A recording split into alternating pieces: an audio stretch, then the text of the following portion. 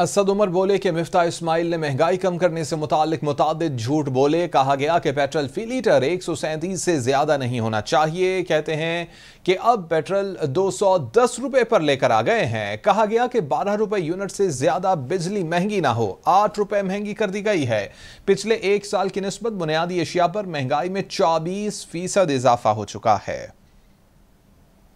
मुफ्ता इस्माइल ने भी बजट पेश किया है। इसके ऊपर मैं क्या एक ऐसा शख्स जो बजट पेश करे, जिसने आज से सिर्फ़ चंद माह पहले ये बोला हो कौम को कि एक सौ सैंतीस रुपए से एक रुपए ज़्यादा पेट्रोल की कीमत नहीं होनी चाहिए और दो सौ दस रुपए पे वो अभी ले जा चुका है और अभी खबरें आ रही मजीद बढ़ने वाला है।